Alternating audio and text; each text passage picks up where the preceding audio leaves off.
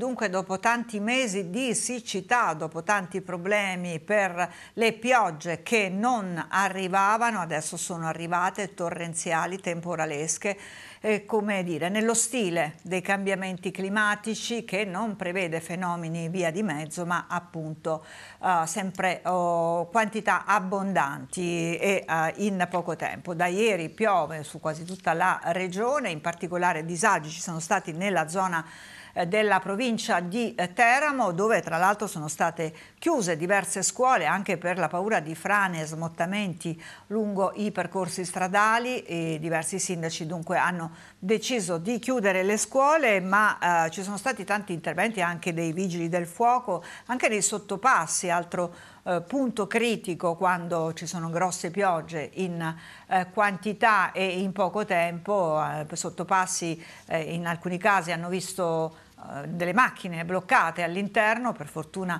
nessuna persona è rimasta ferita, comunque tanti interventi, dicevo, dei vigili del fuoco, della protezione civile, ma per raccontarci un po' tutto questo abbiamo in diretta con noi Anna Di Giorgio da Giulianova. Buongiorno Anna, mi senti?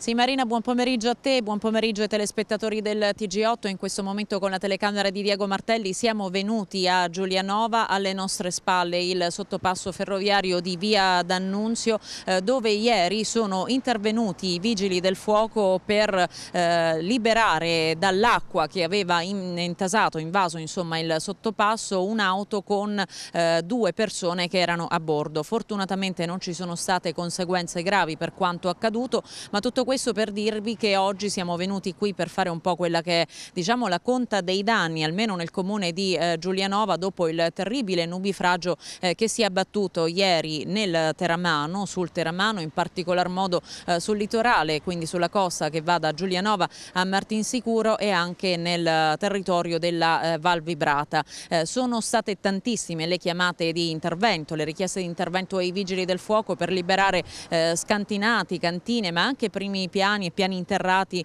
eh, delle abitazioni che sono state appunto invase eh, dall'acqua. Oggi allora abbiamo ascoltato poco prima di questa nostra diretta il sindaco di Giulianova Ivan Costantini che ci ha fatto un po' il punto della situazione. Tutto questo mentre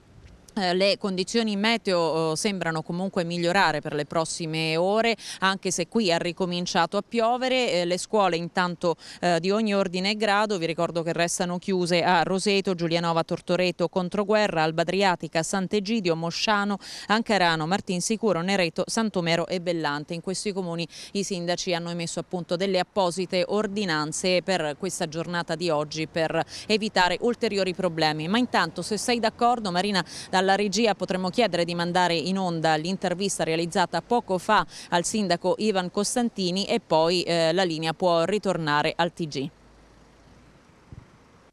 Ivan Costantini, sindaco del comune di Giulianova, ehm, qual è la situazione oggi dopo il nubifragio eh, che ha interessato ieri anche il suo comune insieme a tanti altri comuni della costa teramana? Ma diciamo che oggi la situazione è sotto controllo, il peggio è passato, il muro d'acqua che ieri ha colpito tutti i comuni della costa teramana eh, oggi ci mette in una situazione di sicurezza perché le previsioni eh, dicono che stiamo andando incontro a bel tempo, naturalmente si fa la conta dei danni che non sono sono tantissimi visto la mole d'acqua che è scesa, purtroppo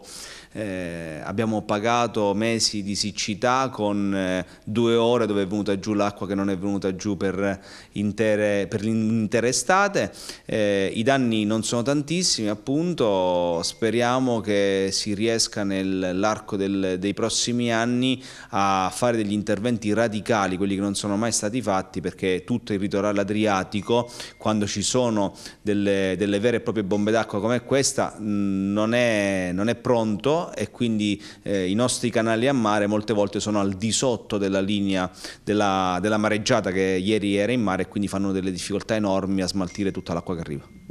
Scuole chiuse di ogni ordine e grado anche a Giulianova, da domani cosa succederà? Oggi abbiamo deciso di chiudere le scuole come tanti altri comuni della provincia di Teramo, l'abbiamo fatto perché eh, vi assicuro che il nostro timore, quello dei sindaci, erano i trasporti e quindi naturalmente volevamo fare la conta dei danni oggi e far viaggiare i nostri ragazzi in totale e assoluta sicurezza, quindi da domani mattina le scuole saranno riaperte. C'è stato anche qualche disagio ovviamente, più di qualche disagio alla viabilità, come diceva anche lei, un automobilista è rimasto anche bloccato in un sottopasso allagato, ci sono state conseguenze particolari? Conseguenze particolari per fortuna non ce ne sono state, eh, noi sulla viabilità abbiamo avuto dei problemi, ma non abbiamo mai interrotto la statale 80, cosa che invece purtroppo è accaduta in qualche altro comune, quindi eh, abbiamo cercato e ringrazio i dipendenti del comune, i vigili urbani, i dirigenti, i funzionari, perché comunque la viabilità primaria, quella che eh, garantisce la possibilità ai soccorsi di passare, è stata sempre garantita sul comune di Giulianova, eh, cosa che purtroppo non è accaduta in altre realtà dove eh, sulla statale sono state interessate da eh, alberi che hanno invaso la statale e hanno dovuto interrompere. Quindi noi, ripeto, eh, è passata, è stata veramente una, una bomba d'acqua e purtroppo ci dovremmo abituare a dei fenomeni climatici che tanto tempo fa non erano previsti da, negli ultimi anni purtroppo interessano i nostri territori.